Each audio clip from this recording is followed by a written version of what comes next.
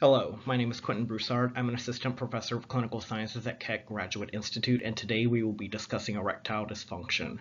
The reason we're discussing this topic today is because erectile dysfunction affects many male patients, particularly those of older age.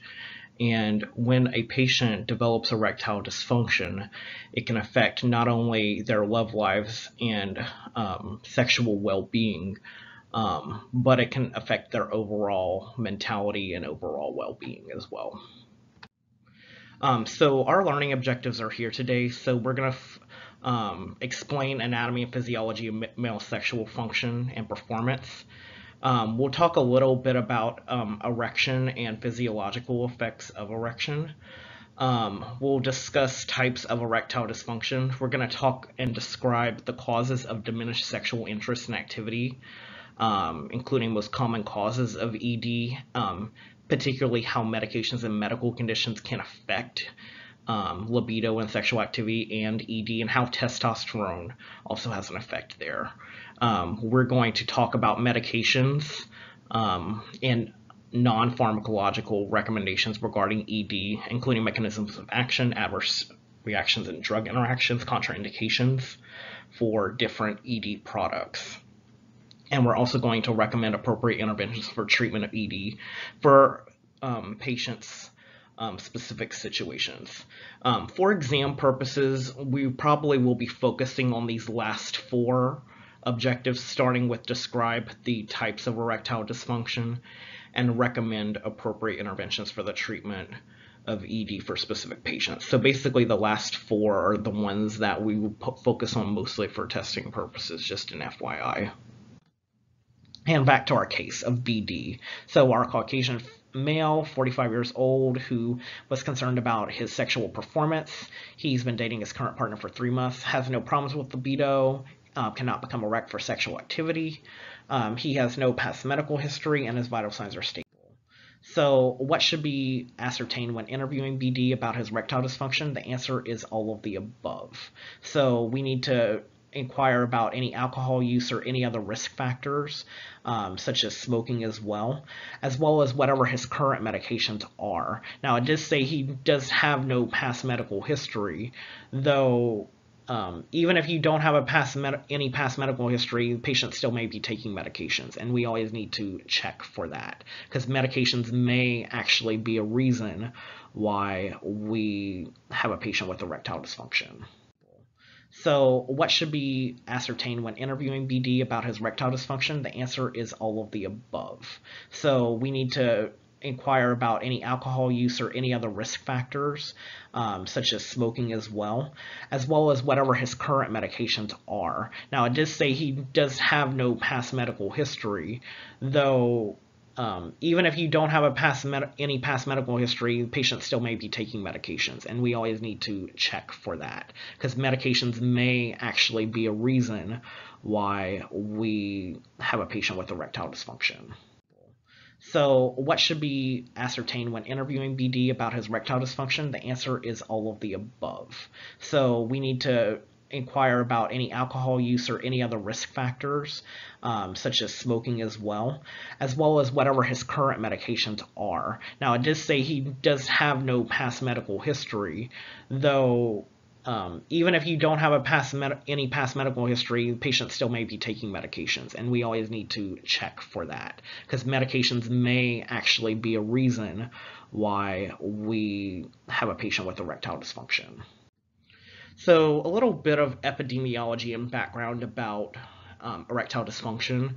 Erectile dysfunction increases as men, men age, and the incidence is low in men who are younger than 40, but increases in men who are 40 and above. There's about a 52% incidence reported in some studies in men who are 40 to 70 years old, and once men hit 70 years old, there's um, as high as an 80% incidence in erectile dysfunction. So this is a very, very important thing, especially if a male um, is sexually active. Um, they may experience this at some time during their lives, as they, particularly as they age. Um, a little bit of background about the anatomy and physiology of the penis. So the penis is actually made up of multiple parts. We have two corpora cavernosa on the dorsal side, um, which are basically these large areas, um, circular areas that you see here in the middle. We have one corpus spongiosum on the ventral side, which is this bottom portion here. Um, now, keep in mind that um, as males are normally functioning um, and their penises are flaccid or essentially flat, um, arterial and venous blood flow into and out of the penis are regularly normal. Um, however, when a, um, a male gets sexually stimulated and becomes erect, the corpora areas, so the corpora cavernosum and the corpora spongiosum, fill with arterial blood, and this causes the penis to elongate and swell. And that is essentially what happens during an erection. Also, during an erection, the venous outflow of blood is decreased from this area, and that basically causes the erection to be um, prolonged for longer than a few seconds to a few minutes. Um, so during this process, arterial blood flows in, venous blood is, um, venous outflow is minimized. Um, um, a little bit of background about the anatomy and physiology of the penis. So the penis is actually made up of multiple parts. We have two corpora cavernosa on the dorsal side um, which are basically these large areas, um, circular areas that you see here in the middle. We have one corpus spongiosum on the ventral side, which is this bottom portion here. Um, now, keep in mind that um, as males are normally functioning um, and their penises are flaccid or essentially flat, um, arterial and venous blood flow into and out of the penis are regularly normal. Um, however, when a, um, a male gets sexually stimulated and becomes erect, the corpora areas, so the corpora cavernosum and the corpora spongiosum, fill with arterial blood, and this causes the penis to elongate and swell. And that is essentially what happens during an erection. Also, during an erection, the venous outflow of blood is decreased from this area, and that basically causes the erection to be um, prolonged for longer than a few seconds to a few minutes. Um, so during this process, arterial blood flows in, venous blood is um, venous outflow is minimized. Um, um, a little bit of background about the anatomy and physiology of the penis. So the penis is actually made up of multiple parts. We have two corpora cavernosa on the dorsal side, um, which are basically these large areas, um, circular areas that you see here in the middle. We have one corpus spongiosum on the ventral side, which is this bottom portion here. Um, now, keep in mind that um, as males are normally functioning um, and their penises are flaccid or essentially flat. Um, arterial and venous blood flow into and out of the penis are regularly normal. Um, however, when a, um, a male gets sexually stimulated and becomes erect, the corpora areas, so the corpora cavernosum and the corpora spongiosum, fill with arterial blood, and this causes the penis to elongate and swell. And that is essentially what happens during an erection.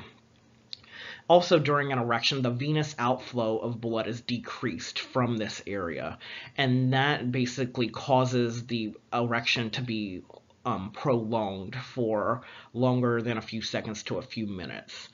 Um, so during this process, arterial blood flows in, venous blood is, um, venous outflow is minimized.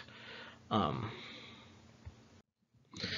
um, some other factors that we need to consider whenever we consider erection, um, as well as ejaculation and erectile dysfunction in general, is that um, when a patient develops an erection, a lot of the um, dilation is actually acetylcholine mediated, and this is done through nitric oxide production. Remember, nitric oxide is a vasodilator, and this vasodilation will increase arterial blood flow into the corporal areas of the penis.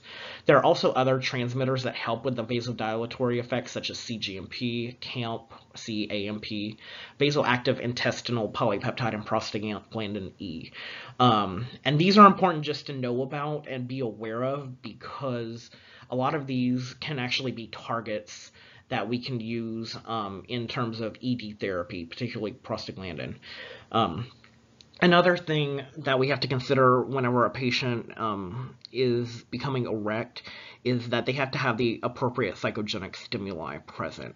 So they have to basically be aroused. And if they have some kind of problem in becoming aroused, say whether it's because of a medication, a disease state, or you know even the relationship that they're currently in because sometimes you know a patient may you know have sexual activity with someone who they might not actually be you know um, stimulated by in those cases psychogenic stimuli play a role in the erection um, and then the eventual um, sexual activity of that patient.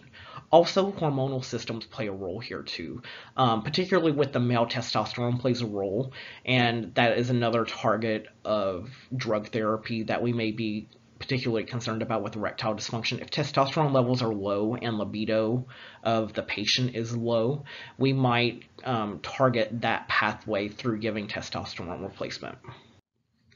So in terms of etiology of erectile dysfunction, we've talked about a little bit or alluded to some of these already, but uh, etiology of erectile dysfunction is divided into two different sets. Organic erectile dysfunction, which is about 80% of patients, and psychogenic erectile dysfunction, which is about 20% of patients.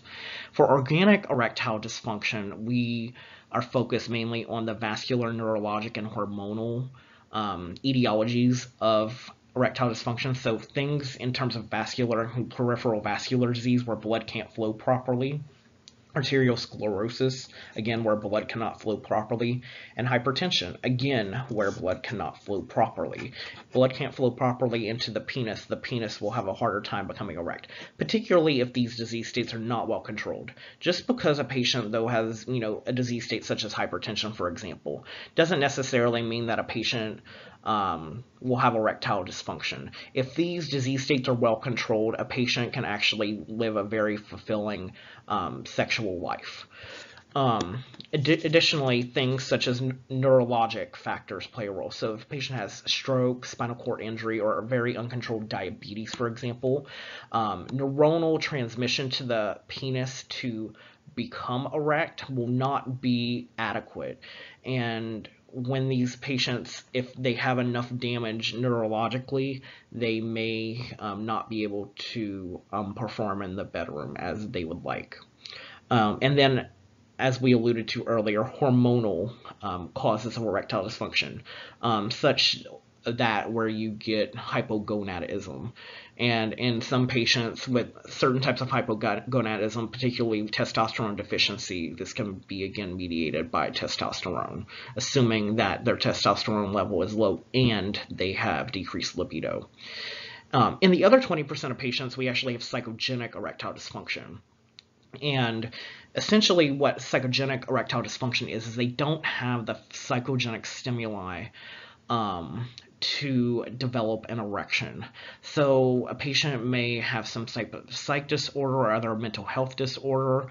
Um, they may be sedated. They may be um, just reactively depressed, um, such where you might actually have um, depression maybe from a substance such as alcohol. Um, or the patient may just have performance anxiety whenever the time comes to become um, sexually intimate with their partner.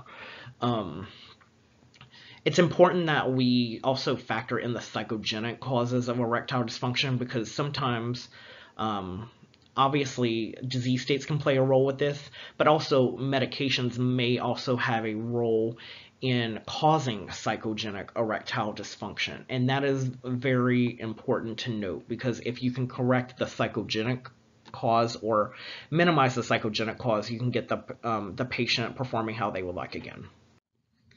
So in terms of etiology of erectile dysfunction, we've talked about a little bit or alluded to some of these already, but uh, etiology of erectile dysfunction is divided into two different sets.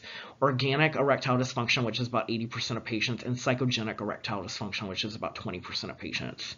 For organic erectile dysfunction, we are focused mainly on the vascular, neurologic, and hormonal um, etiologies of erectile dysfunction. So things in terms of vascular and peripheral vascular disease where blood can't flow properly, arterial sclerosis, again, where blood cannot flow properly, and hypertension, again, where blood cannot flow properly. Blood can't flow properly into the penis, the penis will have a harder time becoming erect, particularly if these disease states are not well controlled. Just because a patient, though, has, you know, a disease state such as hypertension, for example, doesn't necessarily mean that a patient um, will have erectile dysfunction. If these disease states are well controlled, a patient can actually live a very fulfilling um, sexual life.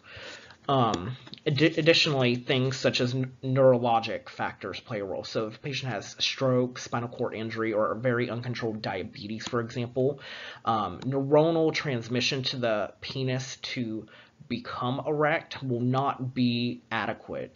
And when these patients, if they have enough damage neurologically, they may um, not be able to um, perform in the bedroom as they would like. Um, and then, as we alluded to earlier, hormonal um, causes of erectile dysfunction, um, such that where you get hypogonadism. And in some patients with certain types of hypogonadism, particularly testosterone deficiency, this can be again mediated by testosterone, assuming that their testosterone level is low and they have decreased libido. Um, in the other 20% of patients, we actually have psychogenic erectile dysfunction. And essentially what psychogenic erectile dysfunction is, is they don't have the psychogenic stimuli um, to develop an erection. So a patient may have some type of psych disorder or other mental health disorder. Um, they may be sedated. They may be um, just reactively depressed, um, such where you might actually have um, depression maybe from a substance such as alcohol. Um, or the patient may just have performance anxiety whenever the time comes to become um, sexually intimate with their partner. Um, it's important that we also factor in the psychogenic causes of erectile dysfunction because sometimes um, obviously disease states can play a role with this, but also medications may also have a role in causing psychogenic erectile dysfunction. And that is very important to note because if you can correct the psychogenic cause or minimize the psychogenic cause, you can get the, um, the patient performing how they would like again.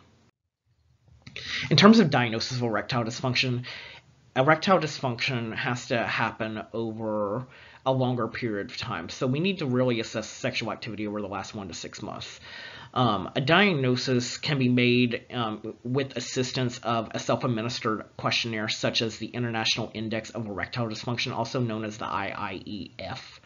Um, there are short versions of the IIEF, such as the IIEF-5, which are composed of a shorter amount of questions than the standard International Index of Erectile Dysfunction, which composes many different questions. So, for example, with the IIEF-5, it's only made up of five questions. Higher scores indicate normal function of um, the penis and erection. If you have a lower score um, on the IIEF5 scale, you um, are more likely to have some kind of etiology of erectile dysfunction um, with lower scores being more severe, as you see here. These scores I will not necessarily have you um, know like what is mild and what is severe, but I just want you to be aware on the IIEF 5 that the lowest score of 5 is bad or the worst, and the highest score of 25 is normal. When assessing medication history, it's important to be aware about medications that may worsen BPH. Testosterone replacement um, may promote growth of the prostate tissue, as we discussed earlier. And obviously, if you have prostate growth tissue growth, um, that will basically eliminate the um, urinary flow and the ability of that urine to actually exit the body, um, worsening BPH symptoms. Oral or intranasal alpha agonists such as um, Sudafed or pseudoephedrine, ephedrine, and phenylephrine may also worsen BPH by causing contraction of the prostate smooth muscle by activating those alpha 1 receptors that are on that smooth muscle, causing contraction of that prostate. Beta agonist may cause um, bladder detrusor muscle relaxation, preventing bladder emptying. And an example of that is with terbutaline. Um, this in BPH actually can only um, help in cases where you actually have irritative voiding symptoms. And we'll talk about that a little bit later with um, Myrbetriq. Anticholinergics may decrease contractility of the urinary bladder detrusor muscle, and examples of those, as we've discussed um, with the ED lecture, include antihistamines and TCAs. In addition, we have diuretics that may worsen BPH um, by obviously causing polyuria. If patients are um, having increased urinary um, release, um, that obviously may um, be related to increased urinary frequency and frequent trips to the bathroom, which may present similar to BPH symptoms. And in a patient with BPH already, we don't want to worsen those symptoms. So obviously with diuretics, that's something that we just have to be aware about in the event that the benefit outweighs the risk to actually receive that diuretic in a patient who is receiving B, um, or who has BPH. In terms of diagnosis of erectile dysfunction, erectile dysfunction has to happen over a longer period of time. So we need to really assess sexual activity over the last one to six months. Um, a diagnosis can be made um, with assistance of a self-administered questionnaire such as the International Index of Erectile Dysfunction, also known as the IIEF. Um, there are short versions of the IIEF, such as the IIEF-5, which are composed of a shorter amount of questions than the standard International Index of Erectile Dysfunction, which composes many different questions. So, for example, with the IIEF-5, it's only made up of five questions. Higher scores indicate normal function of um, the penis and erection. If you have a lower score um, on the IIEF5 scale, you um, are more likely to have some kind of etiology of erectile dysfunction um, with lower scores being more severe, as you see here. These scores I will not necessarily have you um, know like what is mild and what is severe, but I just want you to be aware on the IIEF 5 that the lowest score of 5 is bad or the worst, and the highest score of 25 is normal. In terms of diagnosis of erectile dysfunction, erectile dysfunction has to happen over a longer period of time. So we need to really assess sexual activity over the last one to six months. Um, a diagnosis can be made um, with assistance of a self-administered questionnaire such as the International Index of Erectile Dysfunction, also known as the IIEF. Um, there are short versions of the IIEF, such as the IIEF-5, which are composed of a shorter amount of questions than the standard International Index of Erectile Dysfunction, which composes many different questions. So, for example, with the IIEF5, it's only made up of five questions. Higher scores indicate normal function of um, the penis and erection. If you have a lower score um, on the IIEF5 scale, you um, are more likely to have some kind of etiology of erectile dysfunction um, with lower scores being more severe, as you see here. These scores I will not necessarily have you um, know like what is mild and what is severe, but I just want you to be aware on the IIEF 5 that the lowest score of 5 is bad or the worst, and the highest score of 25 is normal. So our treatment goals in regards to erectile dysfunction are to improve quality and quantity of erection suitable for intercourse and the satisfactory performance as perceived by both the patient and their partner. And that and partner part is very important because um, even though the patient may be satisfied, their partner may not be. And this can lead to problems down the road in terms of um, relationships. So we have many different treatment options available for erectile dysfunction. We have both pharmacologic interventions that you see here, the phosphodiesterase 5 inhibitors or the PDE5 inhibitors, testosterone replacement, prostaglandins such as alprostadil, uh, yohimbine, papaverine, and phentolamine. And then we have non-pharmacologic um, devices, um, including vacuum erection devices or VEDs and penile prosthesis.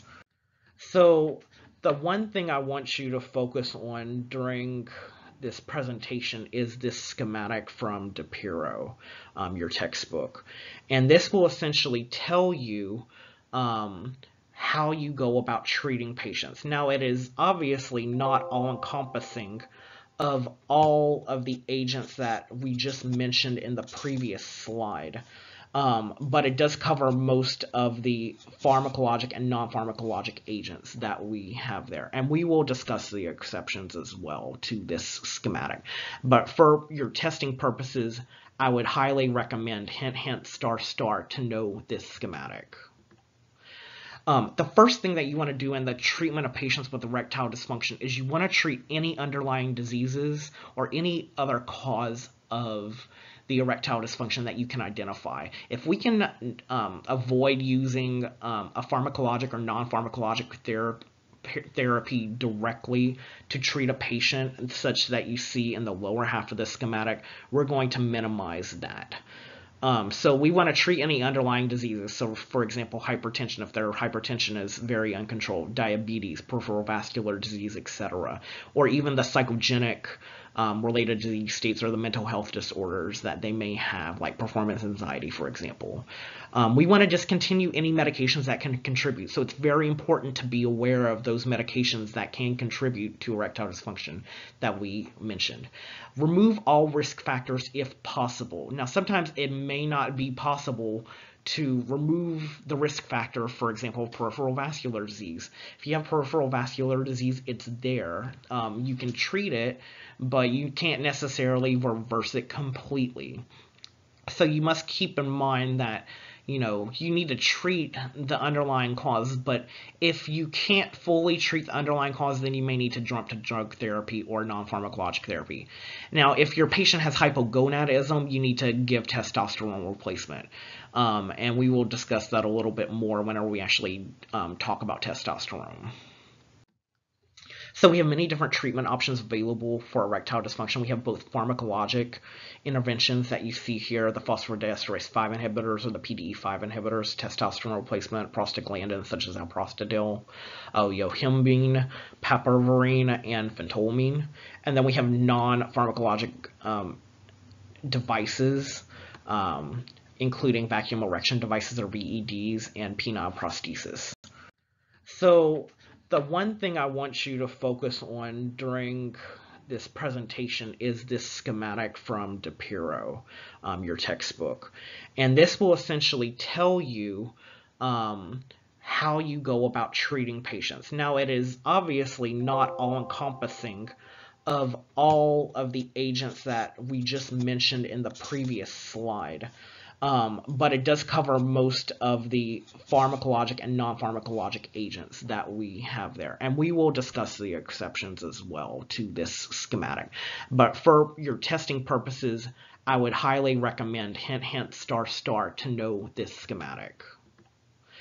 Um, the first thing that you want to do in the treatment of patients with erectile dysfunction is you want to treat any underlying diseases or any other cause of the erectile dysfunction that you can identify. If we can um, avoid using um, a pharmacologic or non-pharmacologic therapy therapy directly to treat a patient such that you see in the lower half of the schematic, we're going to minimize that. Um, so we want to treat any underlying diseases. So for example, hypertension, if their hypertension is very uncontrolled, diabetes, peripheral vascular disease, etc. Or even the psychogenic um, related to these states are the mental health disorders that they may have, like performance anxiety, for example. Um, we want to discontinue any medications that can contribute. So it's very important to be aware of those medications that can contribute to erectile dysfunction that we mentioned. Remove all risk factors if possible. Now, sometimes it may not be possible to remove the risk factor, for example, peripheral vascular disease. If you have peripheral vascular disease, it's there. Um, you can treat it, but you can't necessarily reverse it completely. So you must keep in mind that you know, you need to treat the underlying cause, but if you can't fully treat the underlying cause, then you may need to jump to drug therapy or non-pharmacologic therapy. Now, if your patient has hypogonadism, you need to give testosterone replacement. Um, and we will discuss that a little bit more whenever we actually um, talk about testosterone.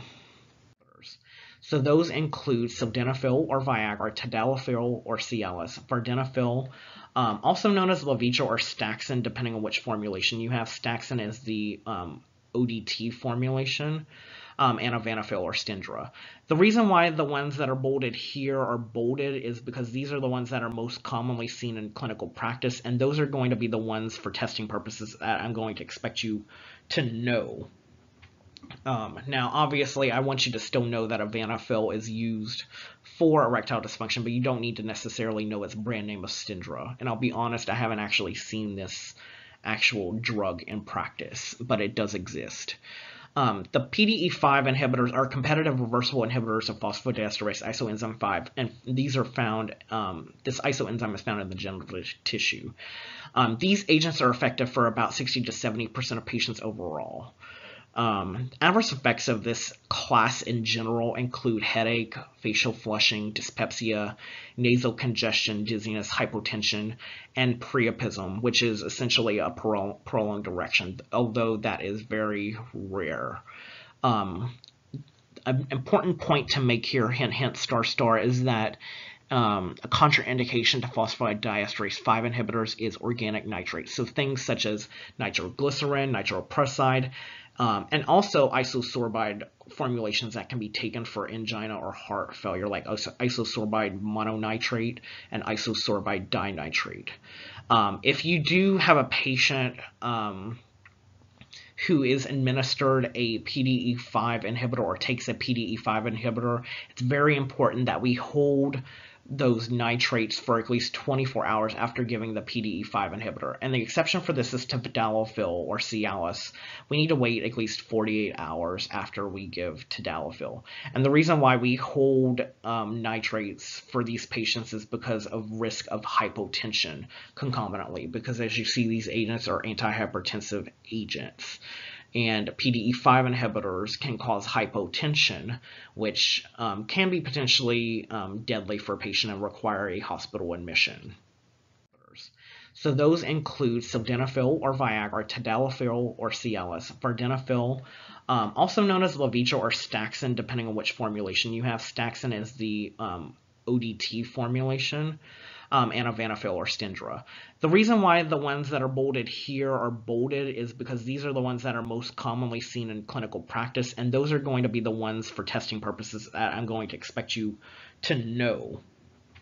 Um, now, obviously, I want you to still know that Avanafil is used for erectile dysfunction, but you don't need to necessarily know its brand name of Stendra. And I'll be honest, I haven't actually seen this actual drug in practice, but it does exist. Um, the PDE5 inhibitors are competitive reversible inhibitors of phosphodiesterase isoenzyme 5, and these are found, um, this isoenzyme is found in the genital tissue. Um, these agents are effective for about 60 to 70% of patients overall. Um, adverse effects of this class in general include headache, facial flushing, dyspepsia, nasal congestion, dizziness, hypotension, and priapism, which is essentially a prolonged erection, although that is very rare.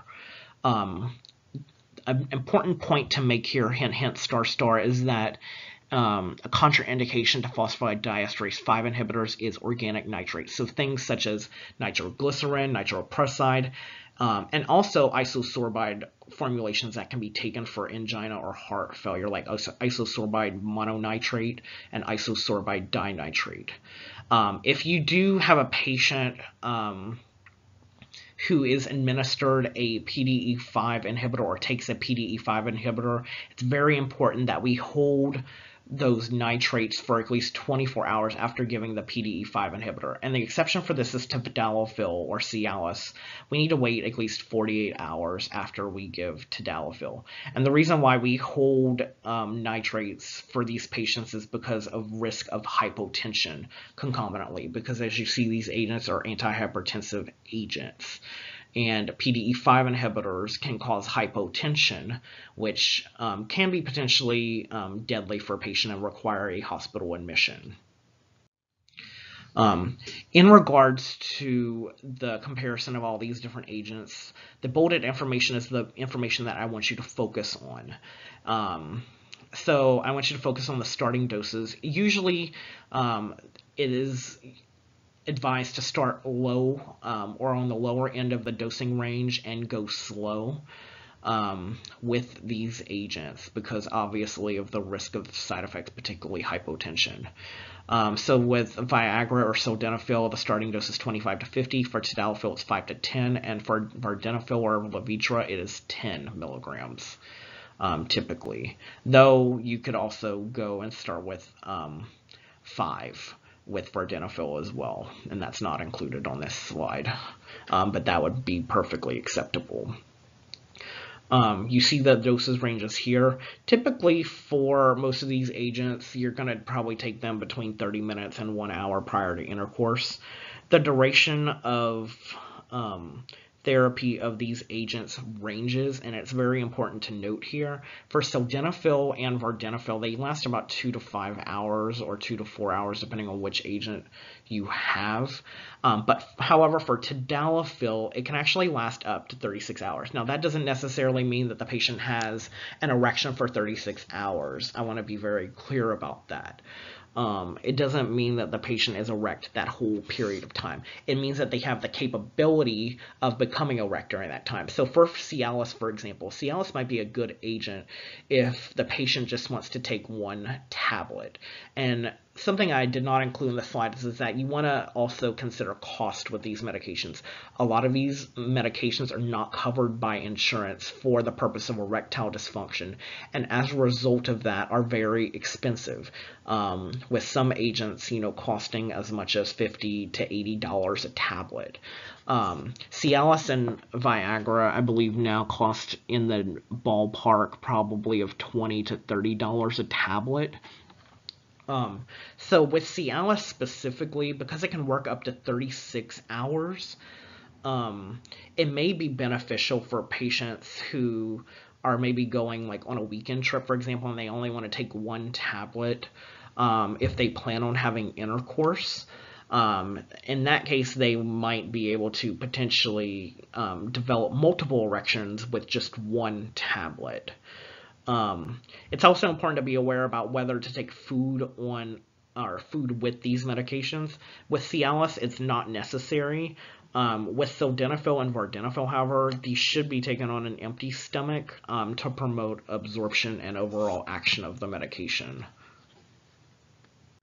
So the one thing I want you to focus on during this presentation is this schematic from DiPiro, um, your textbook. And this will essentially tell you um, how you go about treating patients. Now, it is obviously not all-encompassing of all of the agents that we just mentioned in the previous slide. Um, but it does cover most of the pharmacologic and non-pharmacologic agents that we have there. And we will discuss the exceptions as well to this schematic. But for your testing purposes, I would highly recommend hint, hint, star, star to know this schematic. Um, the first thing that you want to do in the treatment of patients with erectile dysfunction is you want to treat any underlying diseases or any other cause of the erectile dysfunction that you can identify. If we can um, avoid using um, a pharmacologic or non-pharmacologic therapy, therapy directly to treat a patient such that you see in the lower half of the schematic, we're going to minimize that. Um, so we want to treat any underlying diseases. So for example, hypertension, if their hypertension is very uncontrolled, diabetes, peripheral vascular disease, etc. Or even the psychogenic um, related to these states or the mental health disorders that they may have, like performance anxiety, for example.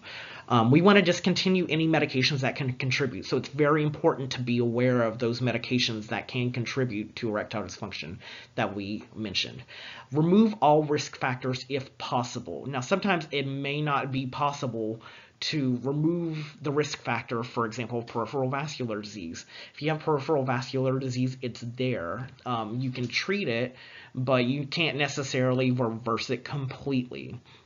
So you must keep in mind that you know, you need to treat the underlying cause, but if you can't fully treat the underlying cause, then you may need to jump to drug therapy or non-pharmacologic therapy. Now, if your patient has hypogonadism, you need to give testosterone replacement. Um, and we will discuss that a little bit more whenever we actually um, talk about testosterone. So, the one thing I want you to focus on during this presentation is this schematic from DiPiro, um, your textbook. And this will essentially tell you um, how you go about treating patients. Now, it is obviously not all-encompassing of all of the agents that we just mentioned in the previous slide. Um, but it does cover most of the pharmacologic and non-pharmacologic agents that we have there. And we will discuss the exceptions as well to this schematic. But for your testing purposes, I would highly recommend hint hint star star to know this schematic. Um, the first thing that you want to do in the treatment of patients with erectile dysfunction is you want to treat any underlying diseases or any other cause of the erectile dysfunction that you can identify. If we can um, avoid using um, a pharmacologic or non-pharmacologic therapy therapy directly to treat a patient such that you see in the lower half of the schematic, we're going to minimize that. Um, so we want to treat any underlying diseases. So, for example, hypertension, if their hypertension is very uncontrolled, diabetes, peripheral vascular disease, etc., or even the psychogenic um, related to these states or the mental health disorders that they may have, like performance anxiety, for example. Um, we want to discontinue any medications that can contribute. So it's very important to be aware of those medications that can contribute to erectile dysfunction that we mentioned. Remove all risk factors if possible. Now, sometimes it may not be possible to remove the risk factor, for example, peripheral vascular disease. If you have peripheral vascular disease, it's there. Um, you can treat it, but you can't necessarily reverse it completely. So you must keep in mind that you know, you need to treat the underlying cause, but if you can't fully treat the underlying cause, then you may need to jump to drug therapy or non-pharmacologic therapy. Now, if your patient has hypogonadism, you need to give testosterone replacement. Um, and we will discuss that a little bit more whenever we actually um, talk about testosterone. So those include sildenafil or Viagra, tadalafil or Cialis, vardenafil, um, also known as Levitra or Staxyn, depending on which formulation you have. Staxyn is the um, ODT formulation, um, and Avanafil or Stendra. The reason why the ones that are bolded here are bolded is because these are the ones that are most commonly seen in clinical practice, and those are going to be the ones for testing purposes that I'm going to expect you to know um, now, obviously, I want you to still know that Avanafil is used for erectile dysfunction, but you don't need to necessarily know its brand name of Stendra. And I'll be honest, I haven't actually seen this actual drug in practice, but it does exist. Um, the PDE5 inhibitors are competitive reversible inhibitors of phosphodiesterase isoenzyme 5, and these are found, um, this isoenzyme is found in the genital tissue. Um, these agents are effective for about 60 to 70% of patients overall. Um, adverse effects of this class in general include headache, facial flushing, dyspepsia, nasal congestion, dizziness, hypotension, and priapism, which is essentially a prolonged erection, although that is very rare. Um, an important point to make here, hint, hint, star, star, is that um, a contraindication to phosphodiesterase 5 inhibitors is organic nitrate. So things such as nitroglycerin, nitroprusside, um, and also isosorbide formulations that can be taken for angina or heart failure, like isosorbide mononitrate and isosorbide dinitrate. Um, if you do have a patient um, who is administered a PDE5 inhibitor or takes a PDE5 inhibitor, it's very important that we hold those nitrates for at least 24 hours after giving the PDE5 inhibitor. And the exception for this is tadalafil or Cialis. We need to wait at least 48 hours after we give tadalafil. And the reason why we hold um, nitrates for these patients is because of risk of hypotension concomitantly, because as you see, these agents are antihypertensive agents and PDE5 inhibitors can cause hypotension, which um, can be potentially um, deadly for a patient and require a hospital admission. Um, in regards to the comparison of all these different agents, the bolded information is the information that I want you to focus on. Um, so I want you to focus on the starting doses. Usually um, it is advised to start low um, or on the lower end of the dosing range and go slow um, with these agents because obviously of the risk of side effects, particularly hypotension. Um, so with Viagra or sildenafil, the starting dose is 25 to 50. For tadalafil, it's 5 to 10. And for vardenafil or Levitra, it is 10 milligrams um, typically. Though you could also go and start with um, 5 with vardenafil as well, and that's not included on this slide, um, but that would be perfectly acceptable. Um, you see the doses ranges here. Typically for most of these agents, you're going to probably take them between 30 minutes and one hour prior to intercourse. The duration of um, therapy of these agents ranges, and it's very important to note here. For sildenafil and vardenafil, they last about two to five hours or two to four hours, depending on which agent you have. Um, but however, for tadalafil, it can actually last up to 36 hours. Now, that doesn't necessarily mean that the patient has an erection for 36 hours. I want to be very clear about that um, it doesn't mean that the patient is erect that whole period of time. It means that they have the capability of becoming erect during that time. So for Cialis, for example, Cialis might be a good agent if the patient just wants to take one tablet. And something I did not include in the slides is that you want to also consider cost with these medications. A lot of these medications are not covered by insurance for the purpose of erectile dysfunction, and as a result of that are very expensive. Um, with some agents, you know, costing as much as 50 to 80 dollars a tablet. Um, Cialis and Viagra, I believe, now cost in the ballpark probably of 20 to 30 dollars a tablet. Um, so with Cialis specifically, because it can work up to 36 hours, um, it may be beneficial for patients who are maybe going like on a weekend trip, for example, and they only want to take one tablet um, if they plan on having intercourse. Um, in that case, they might be able to potentially um, develop multiple erections with just one tablet. Um, it's also important to be aware about whether to take food on or food with these medications. With Cialis, it's not necessary. Um, with sildenafil and vardenafil, however, these should be taken on an empty stomach um, to promote absorption and overall action of the medication. So the one thing I want you to focus on during this presentation is this schematic from DiPiro, um, your textbook. And this will essentially tell you um, how you go about treating patients. Now, it is obviously not all-encompassing of all of the agents that we just mentioned in the previous slide. Um, but it does cover most of the pharmacologic and non-pharmacologic agents that we have there. And we will discuss the exceptions as well to this schematic. But for your testing purposes, I would highly recommend hint, hint, star, star to know this schematic.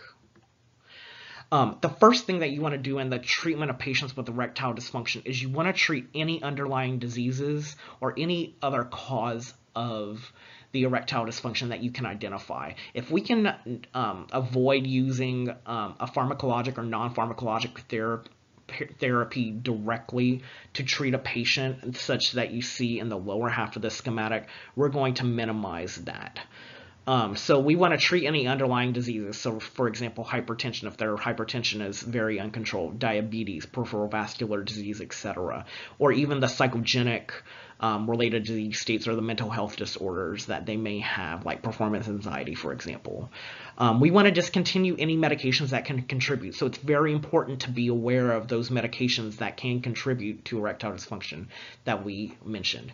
Remove all risk factors if possible. Now, sometimes it may not be possible to remove the risk factor, for example, peripheral vascular disease. If you have peripheral vascular disease, it's there. Um, you can treat it, but you can't necessarily reverse it completely. So you must keep in mind that you know, you need to treat the underlying cause, but if you can't fully treat the underlying cause, then you may need to jump to drug therapy or non-pharmacologic therapy. Now, if your patient has hypogonadism, you need to give testosterone replacement. Um, and we will discuss that a little bit more whenever we actually um, talk about testosterone. A vacuum erection device is a non-invasive mechanical device, so it's essentially external. It doesn't go necessarily into the patient. It is a one-time purchase and can be used multiple times, and it contains two parts, a pump and a cylinder. The pump is the part that generates the negative vacuum pressure, and the cylinder is where the penis is inserted into one end, and the, the end of the cylinder is closed at the other end. The patient activates the pump to produce a vacuum pressure to draw arterial blood into the penis. And um, with that, erection can be prolonged by use of constriction bands or tension rings, which can be placed at the base of the penis or even drawn up the penis. Um, the initial onset, the first time these devices are used, is typically between 3 to 20 minutes. Um, however, as a patient gets used to the device and um, is able to um, operate the device properly and more efficiently, they can actually get an, um, an erection within about two to three minutes. Um, a flaw of this is that these devices are not discreet. So obviously, if a patient decides to develop an erection with these devices, their partner will most likely be aware of it um, because um, essentially the partner will probably be in the room with them as they're using this device. Therefore, these devices are said to work best in older patients who are married um, or other patients um, of any age who are in stable relationships or are married um, and in committed monogamous relationships. Um, obviously, some adverse effects of a vacuum erection device is that a patient can develop penile pain, bruising, or injury because the device may actually cause this. But however, contraindications to this include sickle cell disease and history of prolonged erections.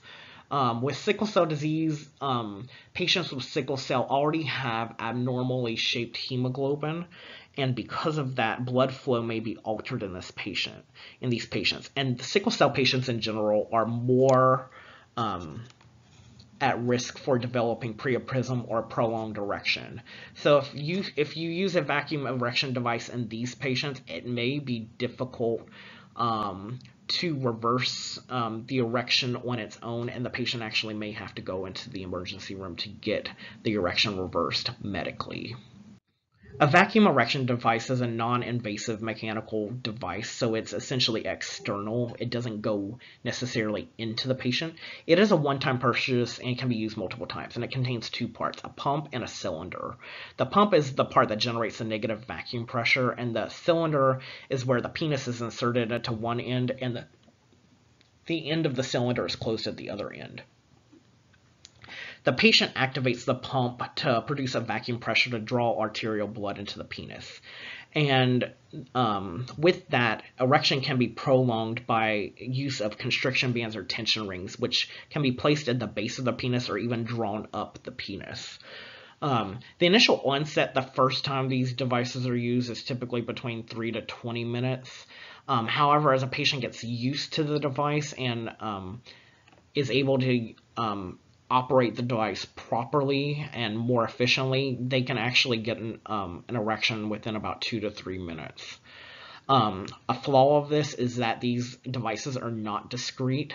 So obviously, if a patient decides to develop an erection with these devices, their partner will most likely be aware of it um, because um, essentially the partner will probably be in the room with them as they're using this device. Therefore, these devices are said to work best in older patients who are married um, or other patients um, of any age who are in stable relationships or are married um, and in committed monogamous relationships. Um, obviously, some adverse effects of a vacuum erect erection device is that a patient can develop penile pain, bruising, or injury because the device may actually cause this. But however, contraindications to this include sickle cell disease and history of prolonged erections. Um, with sickle cell disease, um, patients with sickle cell already have abnormally shaped hemoglobin, and because of that, blood flow may be altered in this patient, in these patients. And the sickle cell patients in general are more um, at risk for developing priapism or prolonged erection. So if you if you use a vacuum erection device in these patients, it may be difficult um, to reverse um, the erection on its own, and the patient actually may have to go into the emergency room to get the erection reversed medically. So the one thing I want you to focus on during this presentation is this schematic from DiPiro, um, your textbook. And this will essentially tell you um, how you go about treating patients. Now, it is obviously not all-encompassing of all of the agents that we just mentioned in the previous slide. Um, but it does cover most of the pharmacologic and non-pharmacologic agents that we have there. And we will discuss the exceptions as well to this schematic. But for your testing purposes, I would highly recommend hint, hint, star, star to know this schematic. Um, the first thing that you want to do in the treatment of patients with erectile dysfunction is you want to treat any underlying diseases or any other cause of the erectile dysfunction that you can identify. If we can um, avoid using um, a pharmacologic or non-pharmacologic therapy therapy directly to treat a patient such that you see in the lower half of the schematic, we're going to minimize that. Um, so we want to treat any underlying diseases. So, for example, hypertension, if their hypertension is very uncontrolled, diabetes, peripheral vascular disease, etc., or even the psychogenic um, related to these states or the mental health disorders that they may have, like performance anxiety, for example.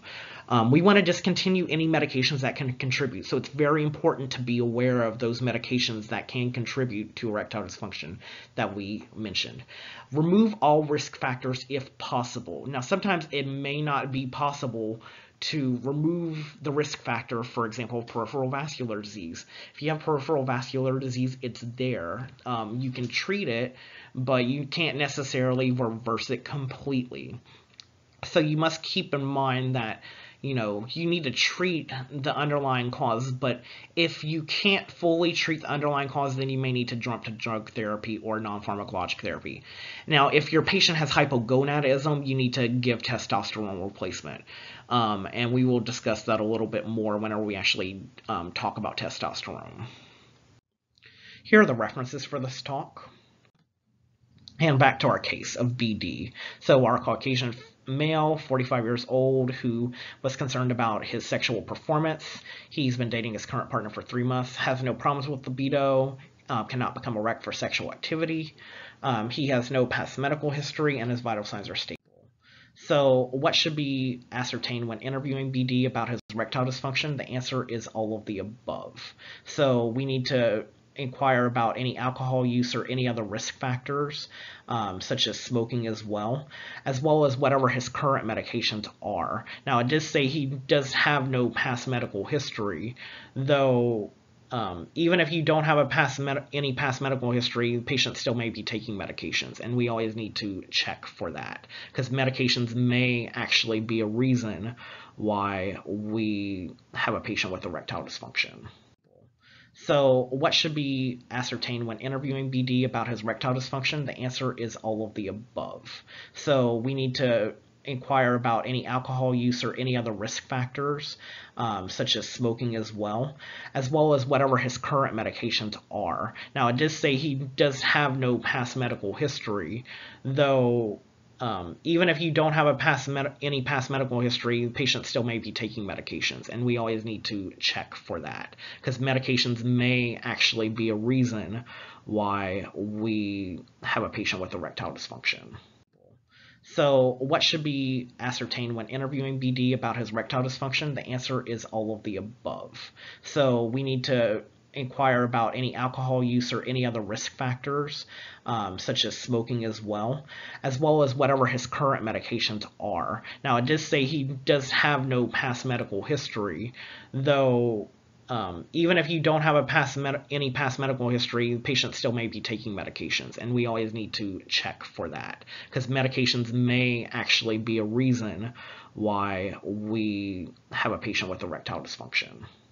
Hello, my name is Quintin Broussard. I'm an assistant professor of clinical sciences at Keck Graduate Institute, and today we will be discussing erectile dysfunction.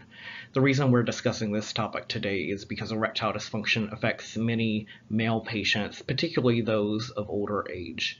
And when a patient develops erectile dysfunction, it can affect not only their love lives and um, sexual well being, um, but it can affect their overall mentality and overall well being as well.